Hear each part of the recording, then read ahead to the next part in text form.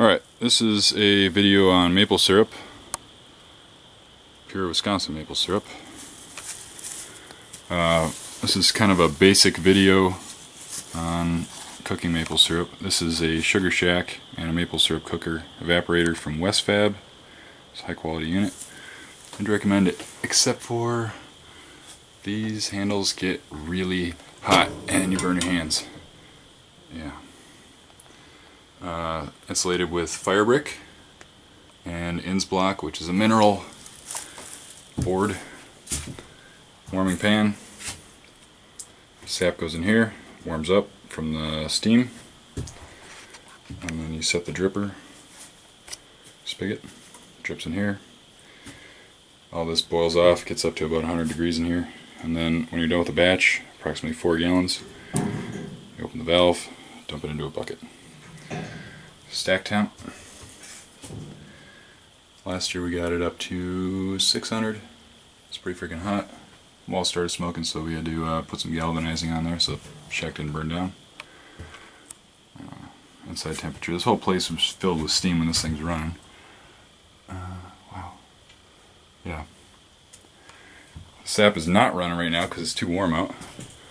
Uh, there was snow here and we got record high temps in the sugar bush now we're not getting any sap at all. And in fact the buds are coming out on the trees. Uh, I'll show you that in a sec and then we're gonna go tap a tree show you how to do that and then we'll collect some sap. Alright this is a maple tree. Uh, I couldn't tell a maple tree from any other tree when I first started uh, two years ago. Uh, we started with 12 taps and now we're up to 50. Uh, but you see that white stuff on the bottom, that is a mold that grows on the uh, sugar. The tree's black because sugar comes out of it, I think. Uh, I'm not 100% on that. But you can tell, look at the bark, see how it splits, and then when you look up at the top, the bark gets smoother. Focus. And then uh, I'm going to show you another tree that's actually budding. That's bad. Okay, this is another maple tree. The last one was a sugar maple, you could tell because of the black bark. This is just a regular maple. Uh, and I wanted to show you this because the top is actually budding. Good for the tree, bad for us, because we like maple syrup. Uh, you can see those red buds.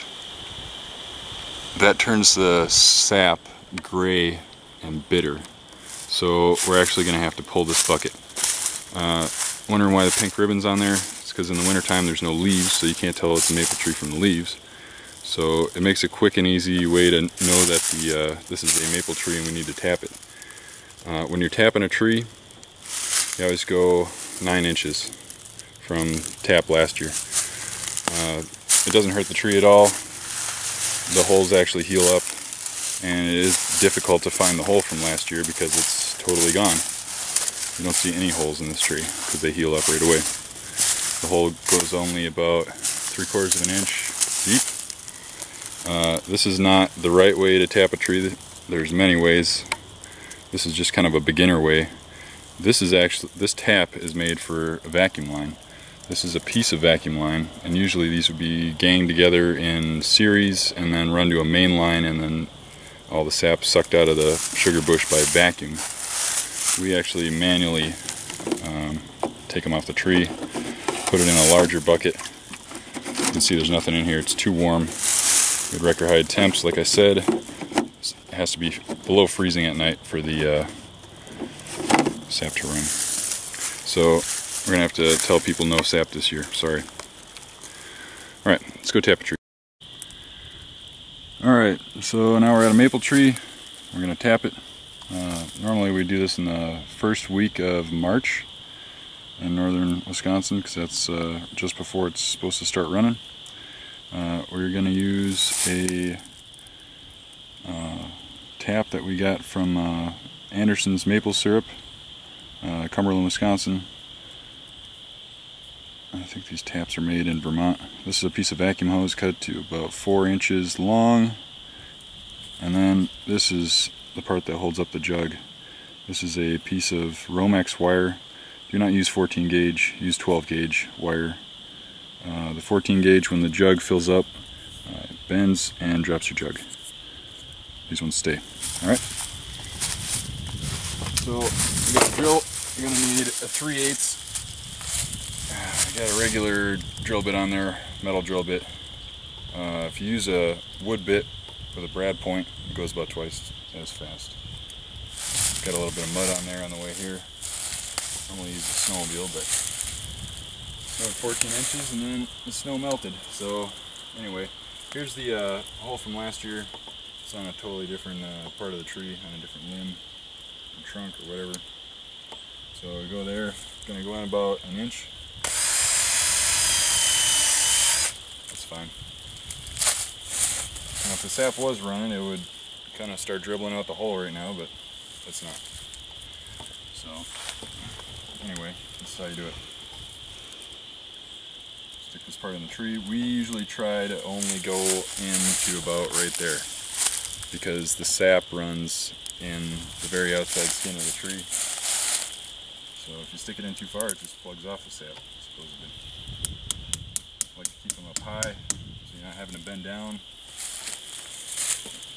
Alright, take a little loop, put it on the tap. Make sure it's on there good and tight. And we got a muddy jug. I'm not going to use this one for uh, consumable syrup.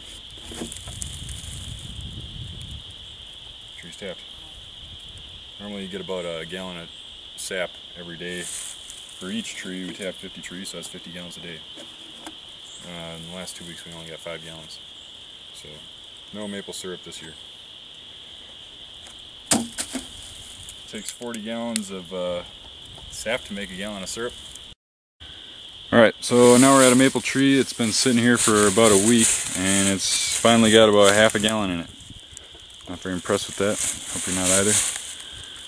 That is maple sap. One out of every 40 drips is uh, a drip of maple syrup. So now you go over and you put it in the bucket. Make sure the bucket's clean. No flies in there. No dirt. Nope. Amazing. 40 gallons of that. Evaporated down, you got a gallon of maple syrup. You can make that into candy, or you can dehydrate and make it into sugar. Alright, this is a special tree. This would be considered a Holstein cow tree because it just keeps pumping it out no matter what. Uh, there's actually three jugs on this tree. So we call this tree jugs. Uh, there's four trunks. Uh, normally those would be full, uh, so this would be more than a three gallon tree. Sometimes you can get put one of those uh, five gallon pails on this tree and it'll just fill it up in a day. But not this year. Interesting note, uh, you see a tap there. We tapped this tree up high over here because of the V in the trunk and that jug filled up and the others didn't. Um, usually these freeze at night and then you have to thaw them out in the sugar shack so you can get the sap out of the frozen jug. Uh, it is the, the freezing temperature that causes the tree to, the sap to come down and then the warm temperature during the day causes the temperature, temperature differential and uh, the hydraulic pressure pushes the sap out. At least that was the best explanation that I've heard. Uh, that's all I got for you from the sugar bush. This tree is not budding yet so it's still good to go.